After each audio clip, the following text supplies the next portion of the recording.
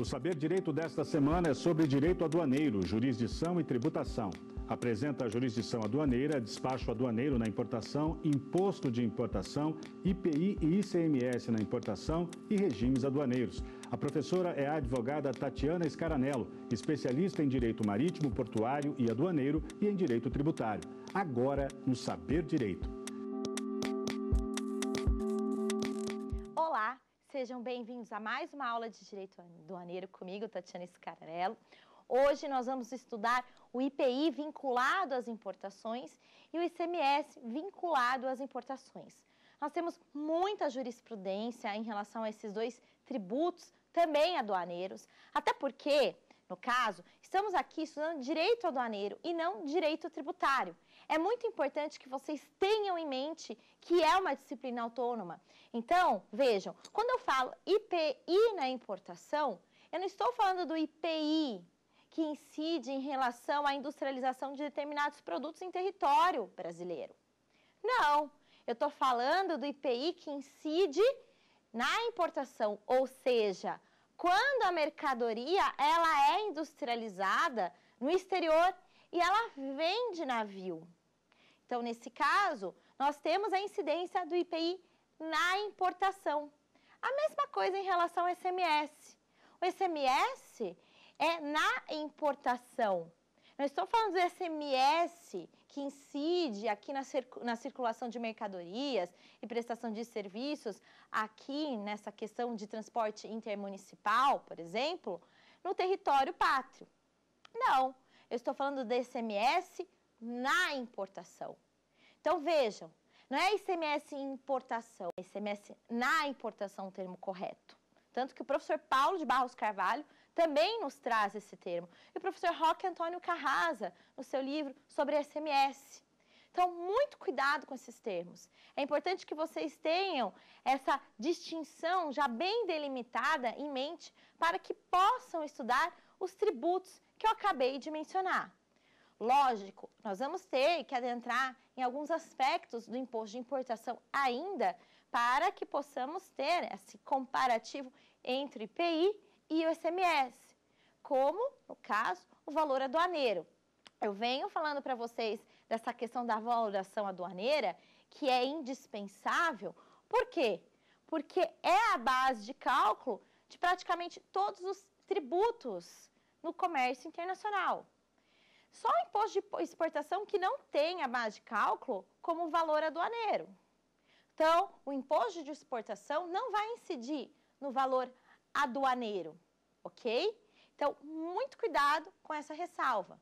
Só que praticamente todos os tributos incidentes no comércio internacional, os tributos aduaneiros, terão a base de cálculo que é, no caso, o valor aduaneiro. Então, vejam, o IPI ele é um tributo que também será instituído pela União. Mas e o ICMS? Ele é instituído pela União? É da competência do ente federal? Não. É da competência dos entes estaduais. Tanto que nós temos, inclusive, uma lei complementar, a Lei Candir, que dispõe acerca dos principais pontos sobre o ICMS que apesar de ser um tributo, um imposto do ente estadual, que é competência de cada ente estadual instituir seu respectivo CMS, nós temos que o SMS ele tem um caráter nacional. Tanto que há essa preocupação em relação à guerra fiscal. Nossa, aquele estado, ele diminuiu, no caso, a base de cálculo. E aí, isso é uma isenção? Ele pode fazer isso através de uma lei sem a discussão por parte do CONFAS e, no caso, uh, proveniente dessa discussão, um convênio que aquele Estado irá, no caso, assinar um protocolo determinando a sua anuência em relação ao convênio do SMS? Então, muito cuidado com isso. Em relação à tributação internacional, o SMS de fato, nós temos algumas peculiaridades em relação ao regime aduaneiro especial drawback. Quando que será isento de ICMS? Quando haverá suspensão do tributo estadual no ICMS em relação ao drawback. Então, pessoal, cuidado. O drawback é um regime aduaneiro que nós vamos ver na última aula para finalizar esse nosso curso, mas significa algo que vai e volta, né? Só que a doutrina e a, jurisprudência pátria, principalmente a STF, utilizam o termo drawback. Então, não há por que nós ficarmos, é, vejam, traduzindo esse termo. É o termo utilizado mundialmente, diferentemente dos termos em latim, em dúbio pro réu, né? Então, lá do direito penal. Na dúvida, nós vamos absolver o réu. Então, muito cuidado com esses termos. É algo que eu tenho que trazer aqui para vocês como uma consideração. Muito bem. Então, vamos estudar agora o IPI. Vamos, depois de exaurido o conteúdo do IPI, estudar o SMS. Vamos agora para o nosso material, para os nossos artigos do regulamento aduaneiro e as nossas jurisprudências em destaque. Pois bem, pessoal, em relação ao IPI, nós temos a previsão no artigo 153, inciso 4 da Constituição Federal de 88. Então, o artigo 153, inciso 4, nos traz que é competência da União, conforme eu já falei, instituir o IPI. E também de cobrar esse tributo aduaneiro, IPI vinculado à importação, que é objeto de estudo dessa aula. Nós também temos a nossa Lei 4.502, de 64, que dispõe acerca do IPI, além do artigo 46 do Código Tributário Nacional. Ambos mencionam sobre o fato gerador do imposto sobre produtos industrializados. E também nós temos o decreto 7.212 de 2010, que é o regulamento do IPI. Então, nós temos uma farta legislação, inclusive legislação mais específica, que é o regulamento do IPI, dispondo sobre esse tributo aduaneiro, o IPI na importação. Algo que é importante para todo o aspecto do IPI, seja IPI na importação, ou seja o IPI em relação a produtos industrializados no território brasileiro, é a questão do princípio da seletividade. Na Constituição Federal de 88, nós temos que o IPI, ele deve observar a seletividade. Então, se aquele produto ele for mais essencial né, do que um outro produto, nós teremos uma diferença de alíquotas do IPI. Então, o legislador ele tem que observar, ah, aquele produto ele é mais indispensável para a sobrevivência humana do que aquele. Então, haverá uma tributação menor em face daquele outro produto. Por isso, o princípio da seletividade, ele deve ser observado em relação ao IPI. Agora, quando nós falamos em relação ao SMS, só para né, aproveitarmos o gancho, essa questão do princípio da seletividade é uma faculdade dos entes da federação.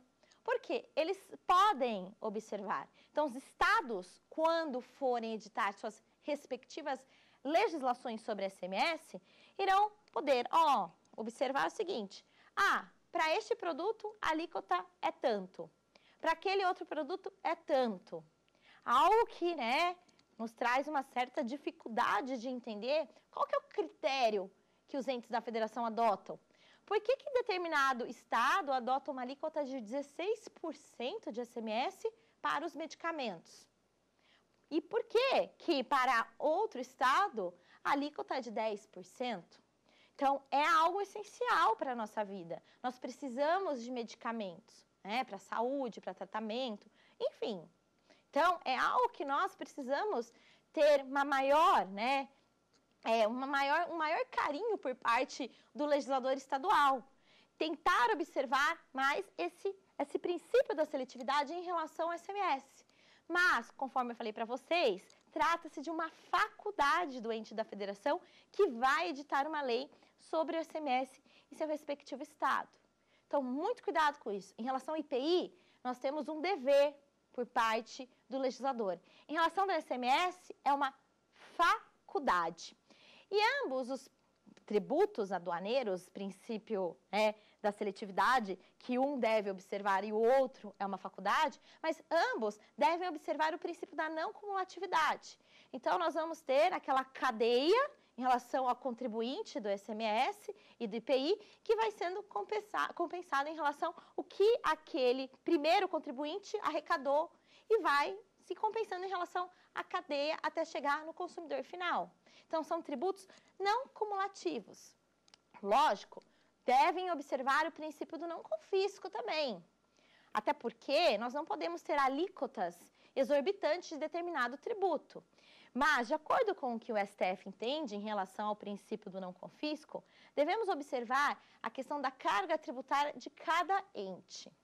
Então, se aquele ente ele possui né, é, tributos com uma carga, com uma alíquota muito elevada, nós teremos um confisco, algo que é vedado.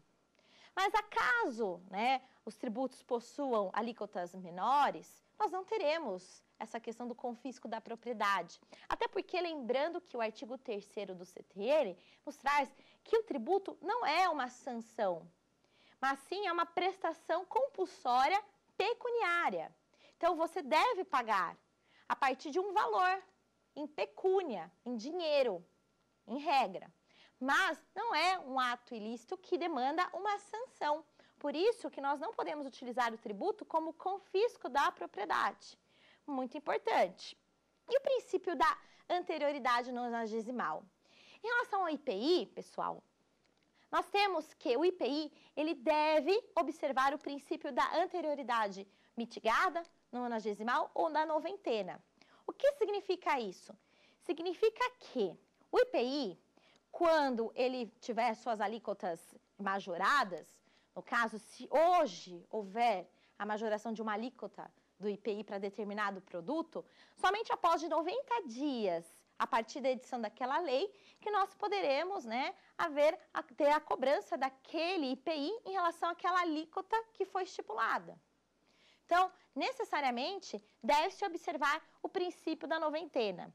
Agora, em relação ao princípio da anterioridade anual, nós não precisamos observar em relação ao IPI.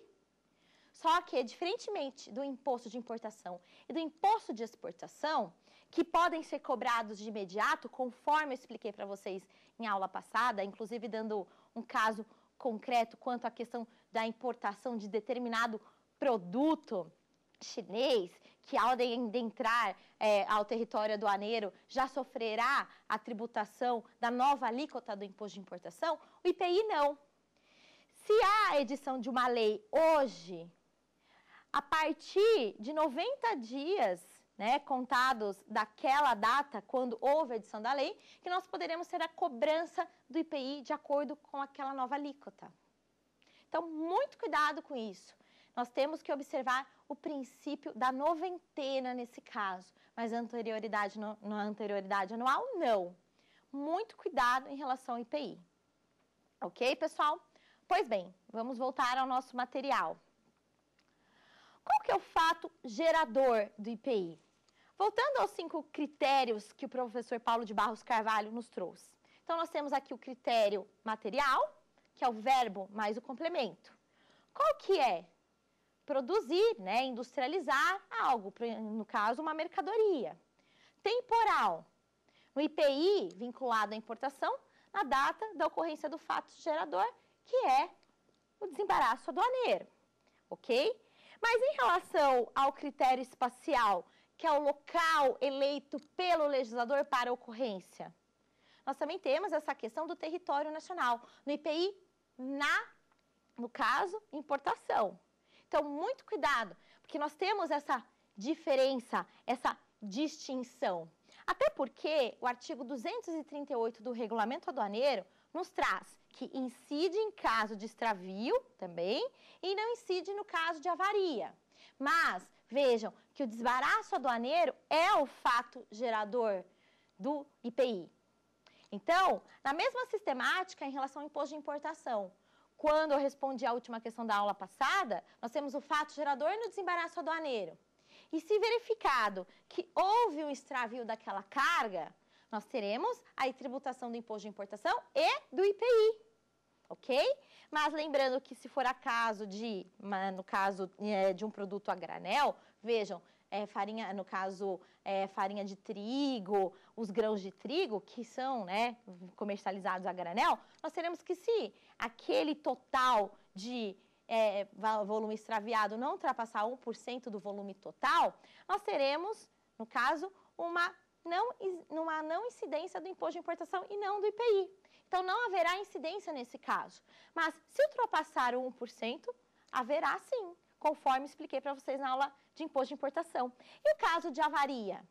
Lembrem-se daquele container que trouxe aquela maquinaria lá da China.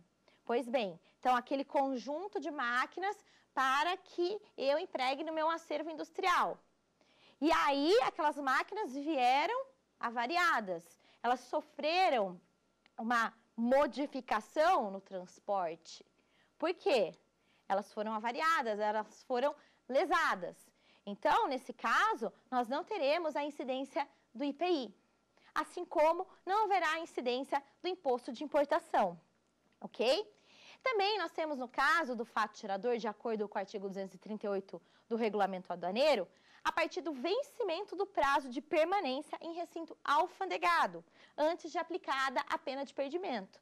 No mesmo caso que concerne em relação ao imposto de importação, ok? Muito cuidado com isso, pessoal.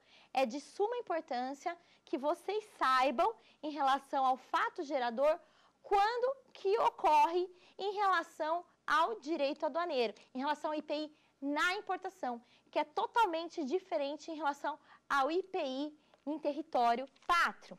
Pois bem, e na questão do critério espacial, que eu já falei, que é, no caso, a, vejam, a, quando a mercadoria ela vem para o território aduaneiro, que são as repartições alfandegárias do país, que são eleitas como o território é, pertinente para tal, mas vejam, é a consequência quando nós temos os critérios de consequência, que é o pessoal, o critério pessoal, quem que é o sujeito passivo?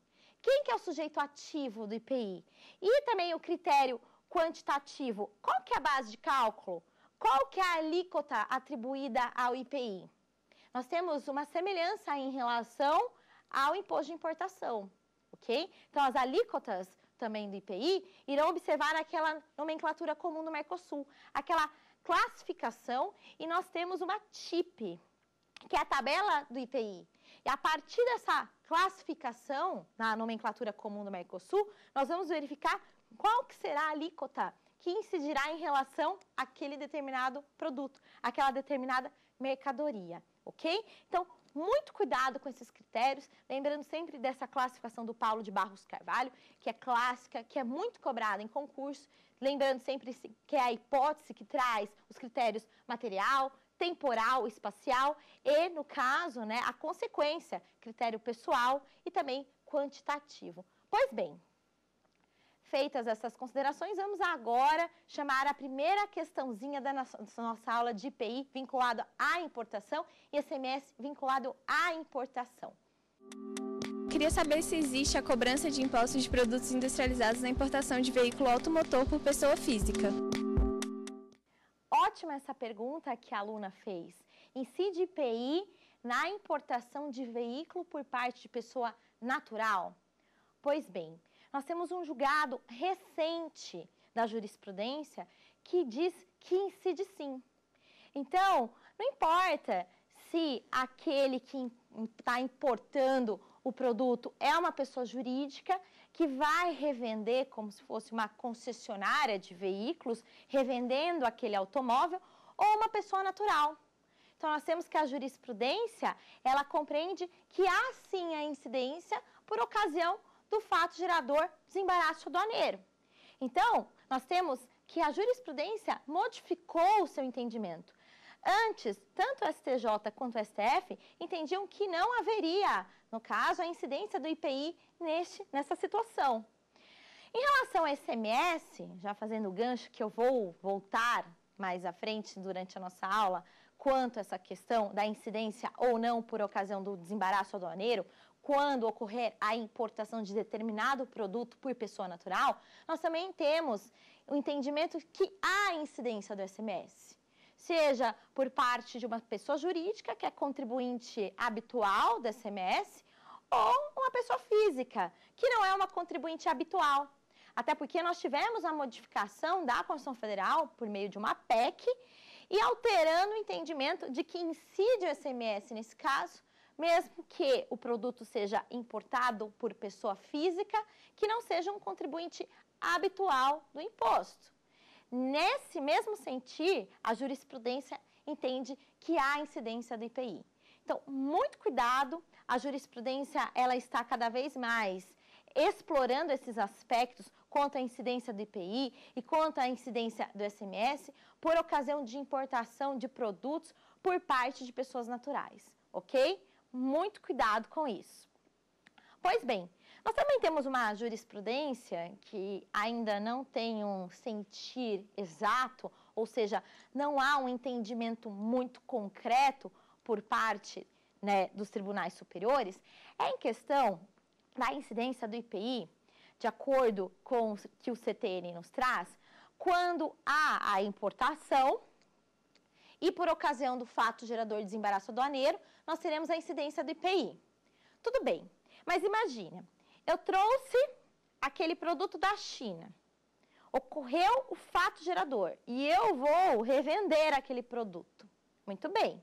Então, aconteceu o fato gerador, desembaraço aduaneiro do IPI. Naquele momento, houve a incidência do IPI. Pois bem, eu paguei. E aí, eu peguei aquele produto e guardei na minha loja. Guardei e coloquei para venda. Pois bem, então é um produto industrializado. E daqui a pouco, o indivíduo vai lá e vai comprar aquele meu produto que eu importei. E aí? Haverá incidência do IPI também nesse momento? Pois é, pessoal. Ora o STJ entende que sim, ora o STJ entende que não. E nós temos, né, essa questão de cada turma do STJ entender de uma maneira. Então, antes, o STJ entendia que não haveria incidência do IPI nesse caso. Por quê? Já foi cobrado IPI por ocasião do desembaraço aduaneiro. Mas lembrem-se, nós estamos falando, nesse caso, do desembaraço aduaneiro, do IPI na importação. Nós temos um outro IPI nesse fato gerador da saída do estabelecimento comercial do produto industrializado. E aí o STJ modificou a jurisprudência e falou: não, nós temos no Código Tributário Nacional esses dois fatos geradores, tanto na ocasião do desembaraço aduaneiro, que é o fato gerador do IPI na importação, quanto em relação à saída daquele produto industrializado do estabelecimento comercial. Mas percebam, é o mesmo produto. Então, houve essa mudança da jurisprudência, mas ainda há certos conflitos tanto que o Procurador-Geral da República, ele defende que há essa incidência do IPI na saída do estabelecimento comercial. E, particularmente, é uma posição que eu também é, defendo. Por quê? Vejam, nós temos que o IPI na importação, ele incide sobre o valor aduaneiro. Lembrando sobre o que eu falei sobre a questão do, do imposto de importação e o valor aduaneiro quanto à capatazia há momentos distintos. Então, o valor aduaneiro do IPI na importação é distinto em relação ao IPI que ocorre no fato gerador da saída daquele produto industrializado que foi importado também do estabelecimento comercial.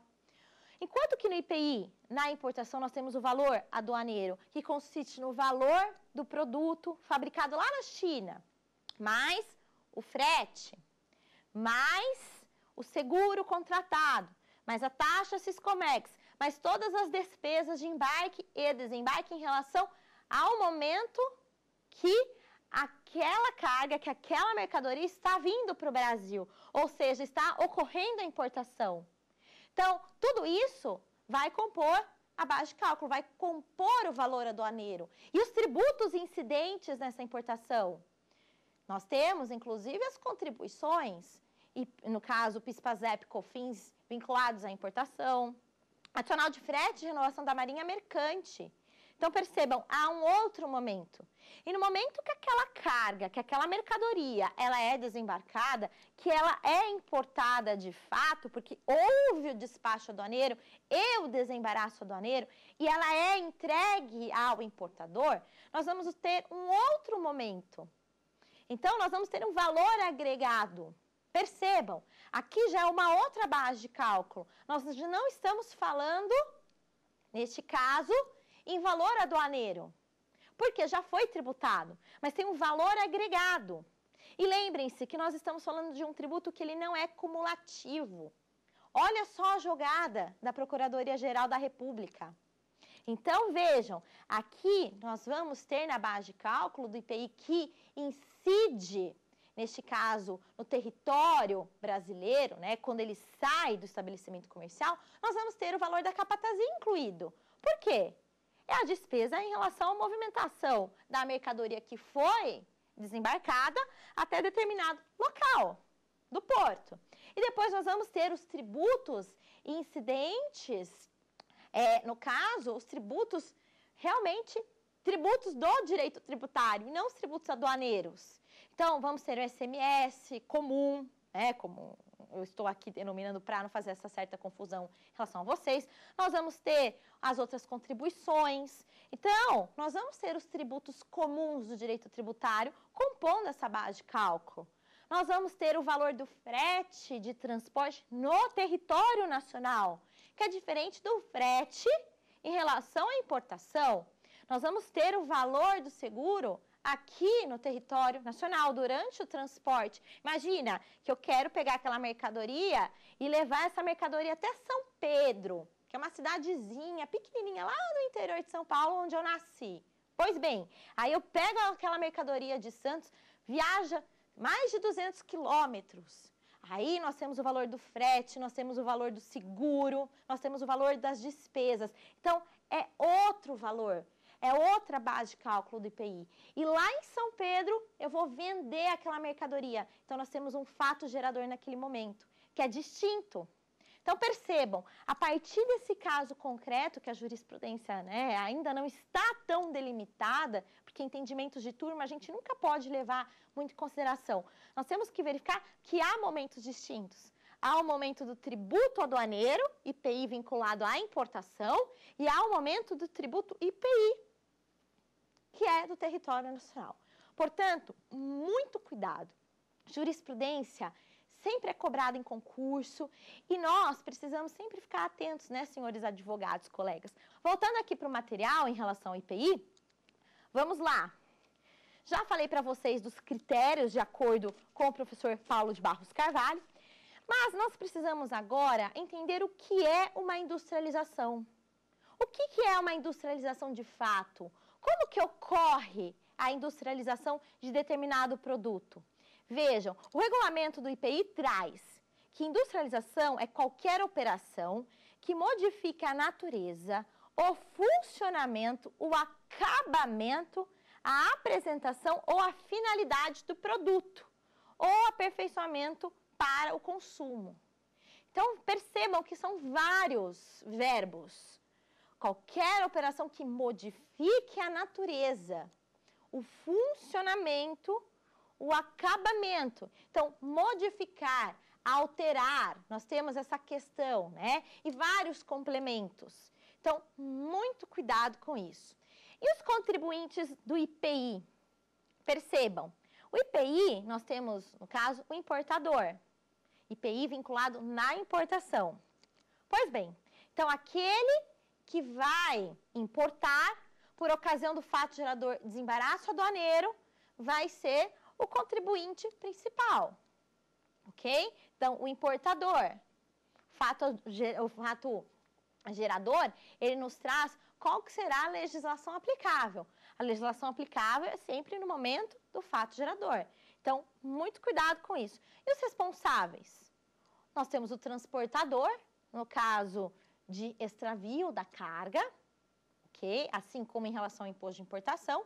E também temos o depositário, ok? Então, importante vocês saberem que estes responsáveis, eles também irão responder pelo pagamento do IPI em relação à questão do extravio. Lembrando que em questão de avaria não haverá incidência. E os responsáveis solidários? Nós temos que será responsável solidário junto com o importador o adquirente da mercadoria de procedência estrangeira no caso de importação realizada por sua conta e ordem por intermediário de pessoa jurídica importadora. Então, cuidado, pessoal, muito cuidado com isso. Pois bem, vamos chamar agora a nossa outra questãozinha que é formulada por um de, por um de nossos alunos. Eu queria saber se o IPI sempre fará parte da base de cálculo do ICMS. Essa questão é muito importante, porque a jurisprudência, ela também já entendeu de diversas formas em relação a isso. Pois bem, então, lembrando sobre a base de cálculo do IPI, nós temos que a base de cálculo do IPI, ela será composta pelo valor do produto industrializado no estrangeiro, isso no IPI importação, ok? Mais o frete, mais o seguro, mais os tributos incidentes, ok? Muito importante, na importação, a taxa Siscomex, ok? Então, essa é a base de cálculo que é o valor aduaneiro. Lógico, nós temos o IPI por dentro, nós temos falando de um tributo que ele também próprio compõe a sua própria base de cálculo. Agora, em relação ao IPI na base de cálculo do SMS. Gente, essa questão do SMS, ela é importante e vamos fazer um gancho aqui com o nosso tema ICMS na importação. Pois bem, o ICMS também é um tributo que tem, né, que é composto, é composto pelo seu próprio tributo. Então, a sua base de cálculo, a base de cálculo do ICMS é composta pelo próprio tributo. Então, vejam, nós temos ICMS por dentro. E também nós temos o IPI participando dessa base de cálculo do ICMS. Só que nós temos na Constituição Federal de que quando o IPI e o ICMS, eles compuserem, no caso, a, a mesma, o mesmo fato gerador, nós tivemos elementos semelhantes, não poderá o IPI compor a base de cálculo do SMS. E, no caso, uma, uma, uma, importação, né, uma atividade, melhor dizendo, realizada entre contribuintes. Pois bem, então, se forem contribuintes tanto do SMS quanto do IPI, e, vejam, aquele fato gerador for o mesmo para ambos os tributos, nós não podemos ter o IPI compondo a base de cálculo do ICMS, de acordo com o que traz a Constituição Federal de 88. Mas, nesse caso do ICMS na importação, nós estamos falando de uma atividade realizada entre um contribuinte, que é o importador, mas quem está exportando não é contribuinte. Por quê?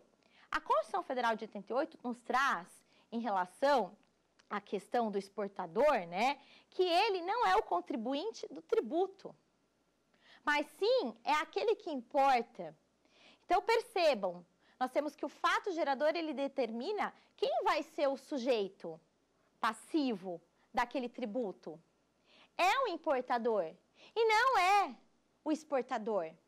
Então o exportador ele não vai pagar o tributo SMS, mas sim aquele que realiza o fato gerador, aquele que importa o bem e que é desembaraçado por parte do despacho aduaneiro, no caso da importação de determinado produto. Então, nós não estamos falando de uma atividade entre contribuintes, por força de que o exportador, ele não é contribuinte do SMS, ele não é contribuinte do IPI. Logo, sempre o IPI vai compor a base de cálculo do SMS importação muito cuidado com essa pegadinha. Esse tema, ele é totalmente né, específico. É um tema caro que nós falamos em relação a concurso público. Por quê?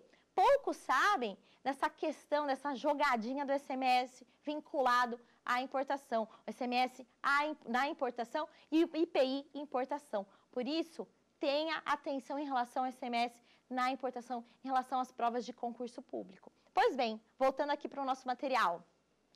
Então, quanto à base de cálculo do IPI, já falei para vocês sobre essa questão.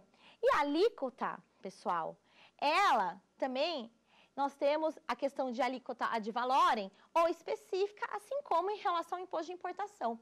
Mas, conforme eu falei para vocês, nós vamos verificar a nomenclatura comum do Mercosul e a sua classificação na TIP. Lembrando que em relação ao imposto de importação, é na TEC. Ok. Agora, o STF, também em 2014, ele trouxe uma decisão para nós em relação à base de cálculo. Voltando um pouquinho.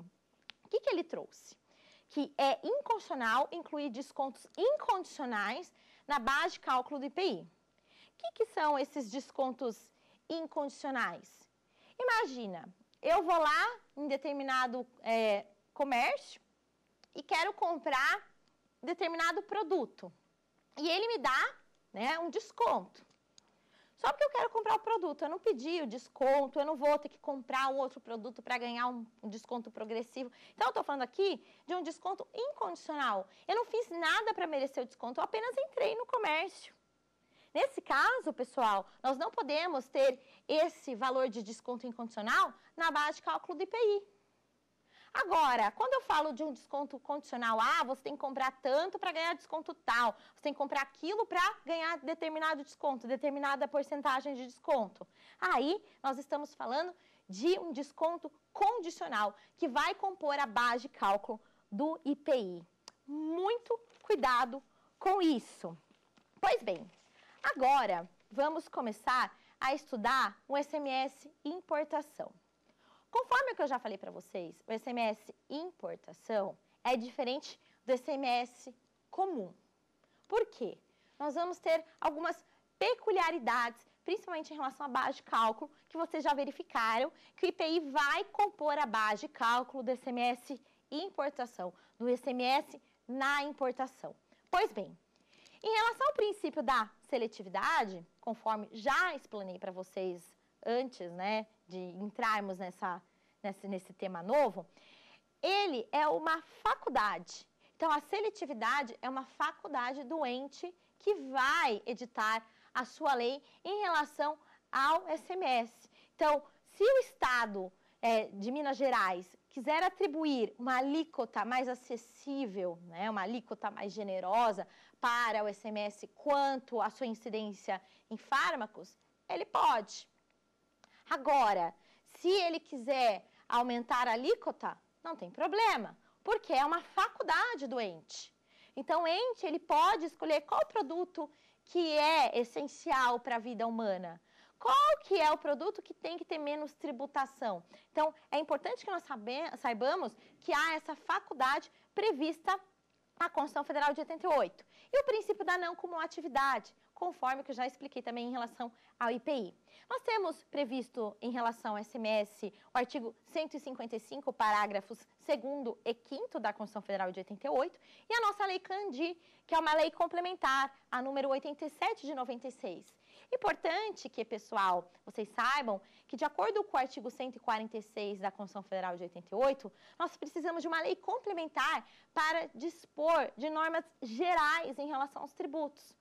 Então, essa lei Candir, ela é uma lei complementar por força de dispositivo previsto na Constituição Federal de 88. Não é uma invenção da União. Então, é uma norma geral que dispõe sobre aspectos do SMS que deve ser observada em relação a todos os estados da federação. Então, Estado de São Paulo, quando ele for editar uma norma sobre SMS no seu estado, deverá observar a Lei Candir. Pois bem, o parágrafo 2 do inciso 9 da nossa Constituição Federal de 88, né, do artigo 155, nos trouxe: incidirá sobre a entrada de bem ou de mercadoria importados do exterior por pessoa física ou jurídica.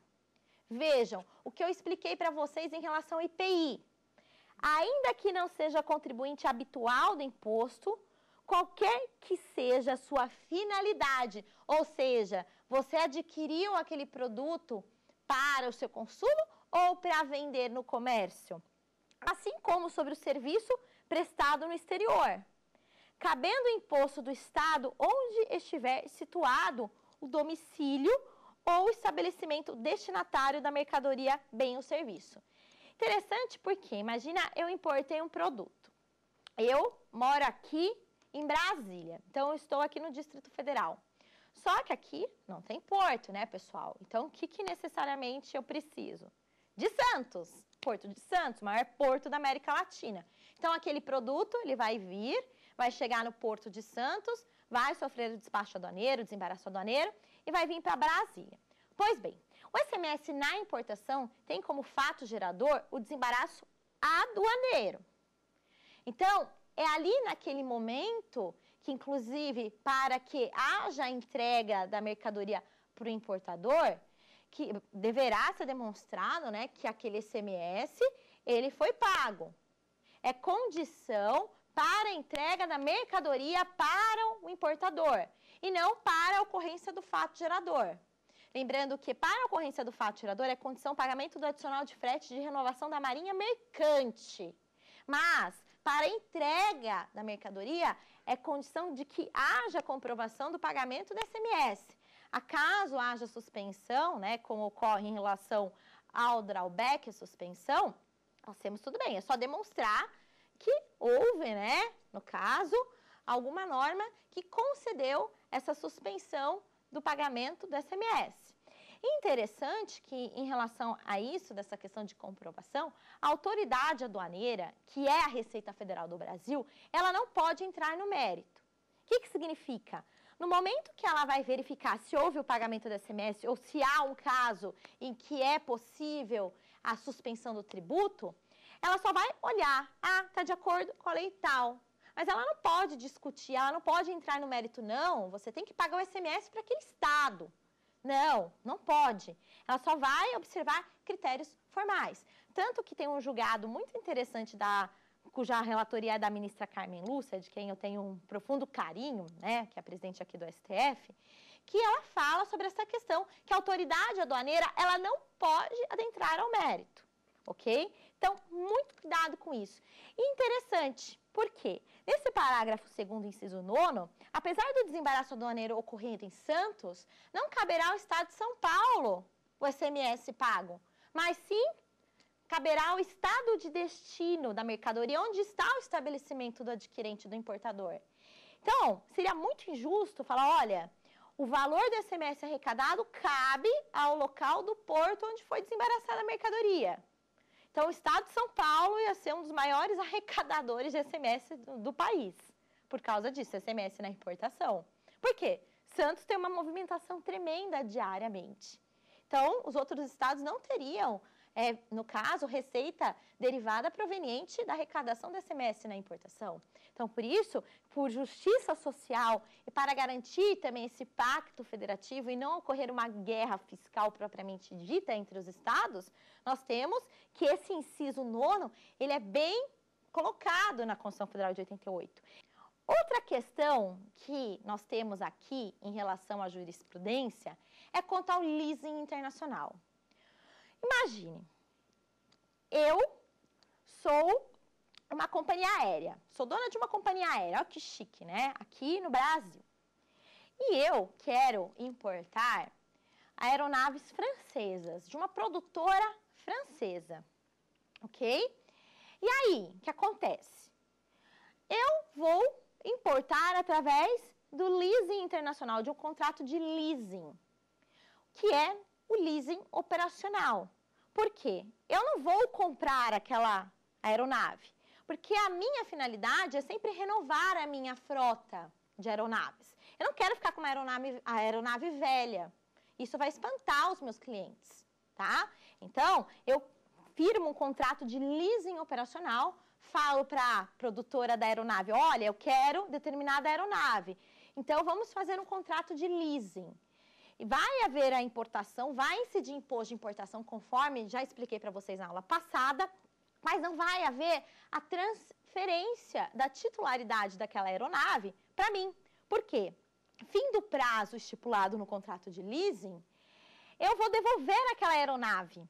Então, aquela aeronave vai voltar para a produtora, vai voltar para aquela industrial, ou seja, para aquele, é, naquele, no caso, a indústria que fabricou aquela aeronave que eu trouxe a título de leasing internacional, de leasing operacional. Então, não há uma aquisição propriamente dita.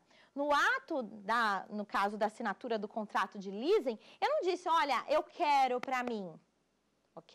Então, não é essa a intenção. Então, não há uma circulação, não há uma incidência do SMS. Por quê? O SMS é um imposto incidente sobre a circulação de mercadorias. Olha o fato gerador. Caracterizando a transferência de titularidade de um proprietário para o adquirente. Então, na ocasião do fato gerador, né, que seria o desembaraço aduaneiro, no SMS na importação, não houve uma circulação. Então, não há incidência do SMS importação nesse caso. Eu trouxe aqui alguns conceitos dos é, mais renomados doutrinadores de direito tributário. Geraldo Ataliba, por exemplo, ele fala que circular significa para o direito mudar de titular. Então, não houve uma mudança de titular. Hugo de Brito Machado fala que operações relativas à circulação de mercadorias são quaisquer atos ou negócios, independentemente da natureza jurídica de cada um deles, que implicam a circulação de mercadorias, vale dizer, que implicam mudança da propriedade de mercadorias.